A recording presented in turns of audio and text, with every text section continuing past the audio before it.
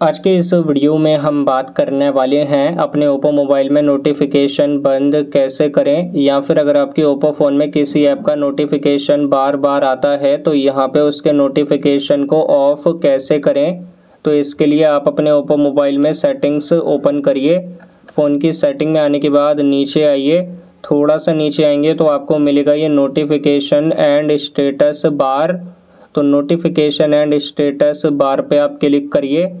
Click करने के बाद अब ऐसा पेज आएगा, यहाँ पे नीचे आएगा ये ऐप नोटिफिकेशन। तो यहाँ पे ऐप नोटिफिकेशन में आपके मोबाइल के सारे ऐप आ रहे हैं। तो यहाँ पे देख सकते हैं, नीचे तक आपके मोबाइल के ये सारे ऐप आपको शो हो रहे हैं।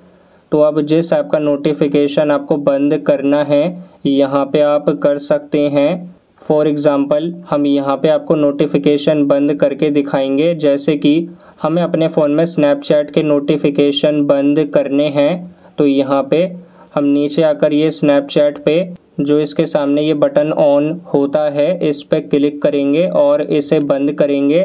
तो यहाँ पे अब आपके फ़ोन में स्नैपचैट के नोटिफिकेशन बंद हो गए हैं। इसी तरीके से हम व्हाट्सएप के नोटिफिकेशन बंद करेंगे। यहाँ पे इस पर क्लिक करेंगे और इसे बंद करेंगे। अब आपके फ़ोन में व्हाट्सएप के नोटिफिकेशन बंद हो गए हैं। तो इसी तरीके से जिस ऐप के नोटिफिकेशन आप बंद करेंगे, यहाँ से कर सकते हैं। या फिर नोटिफिकेशन बंद करने का दूसरा तरीका है। इसके लिए फ़ोन में सेटिंग में नीचे आकर ऐप्स आएगा। ऐप्स पे क्लिक करिए। ऐप मैनेजमेंट आएगा। इस पर क्लिक करिए। इसे ओपन करिए। आपके मोबाइल के सारे ऐप यहाँ पे आ रहे हैं। तो जिस ऐप के नोटिफिकेशन बंद करेंगे, उस एप्लीकेशन पे क्लिक करिए। हमने जैसे कि ये फेसबुक ऐप पे क्लिक किया, उसके बाद ये मैनेज नोटिफिकेशन आएगा, इस पर क्लिक करिए।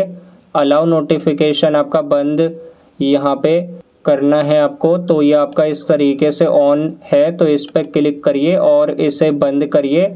अब आपके नोटिफिकेशन बंद हो गए हैं तो इसी तरीके से अपने ओप्पो फ़ोन में नोटिफिकेशन बंद करें। अगर आपको ये वीडियो पसंद आई तो इस वीडियो को लाइक ज़रूर करें।